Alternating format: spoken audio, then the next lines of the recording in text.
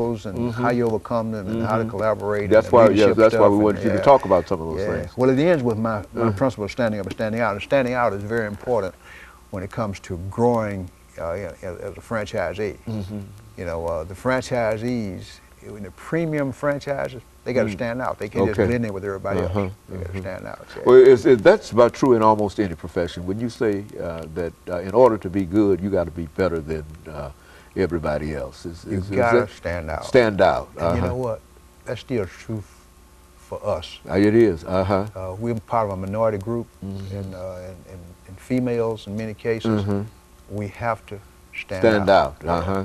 And, and which is a good thing because Uh-huh. it brings out the best. Best in you. yeah. That's right. It, you And, have to be uh, better than yeah. everybody else because of whatever might be. And I, that is a great motivating factor. Oh, yeah. That really motivates. And you have to get down to the nitty gritty of work when you first open those franchises right. too. Because Okay. it takes a while to build an organization. It takes a while to have the, the capital. It takes takes money to do those things. If people say how much it costs to get in, you know, it, it, it costs a whole bunch of money to get in. I mean, you know, when I got into McDonald's back here, you know, only cost like two hundred and six thousand dollars what it was. And you know, today you're talking about yeah, that's what $206,000. back, That was back in that's thirty.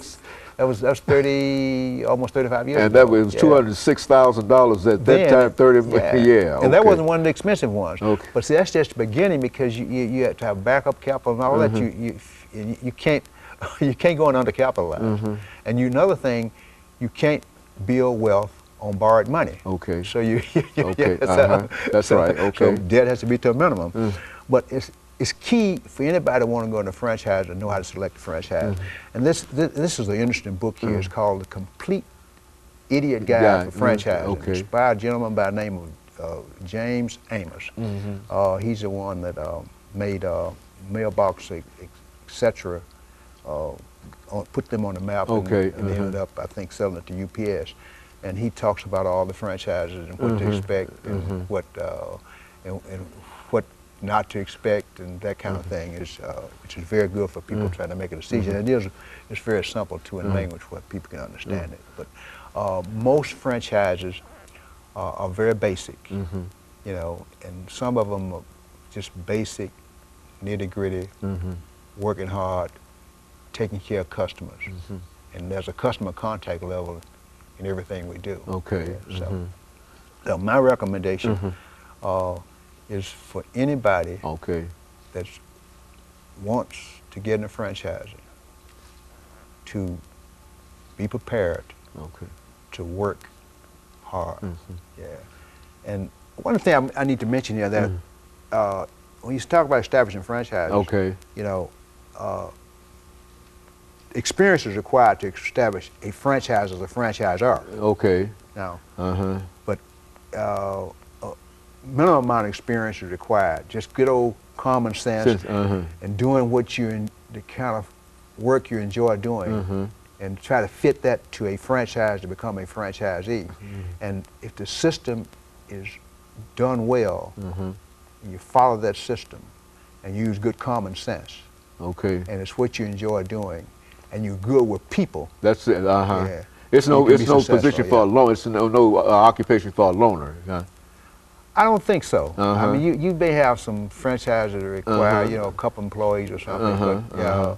but, But yeah, it's a yeah, it, it- it's a people oriented kind of thing. You got to bring those people into it's the. a people-oriented kind of thing because you got you got to work with the franchisor, a franchisor and a franchise. You got to work together, you know, and you got to work with other franchisees, you know. And uh, another area too is um, is uh, e- even there's there's a minimum amount of it, but there, there's some work required with uh, with vendors too, okay. with uh-huh. suppliers. I mean that's uh, that that's very important, you know. And so it it really gives you uh, a piece of all aspects of business, but you got somebody there to help you with it. Okay. That's and- the most important thing about it. Somebody help Yeah. you put it together. You, Right. All the pieces are out there, but unless you understand how the pieces interrelate and how they work together, then you're going to have a difficult time. Right. That- exactly and, right. and, and, and of course, during this last minute, uh, uh, Mr. Jones, let me uh, thank you for coming by and giving us that excellent information. As a matter of fact, that's exactly what we wanted because we do know that uh, there are some interests in people becoming involved in minority franchises and et cetera. And I think that if they are able to uh, understand what we're saying here and what you're saying here today, then they'll have a better idea. And uh, I was surprised in terms of uh, how much money it actually takes to become involved in uh, such an activity. And you said in the 1960s you were talking about $200,000, and it's almost, uh, I would imagine, almost prohibitive for any one individual to think about becoming, and certainly some of the larger ones like uh, the one that you started with McDonald's. I mean, it's, you have to have a group of individuals, I would imagine, to get together. It's not a poor man's business. it's not very good, but I, I, I certainly appreciate that, and I, I, I, I like what you gave us. I like the information that you gave us, and and of course, let me encourage our audience to uh, tune in again next week for another informative edition of Comments.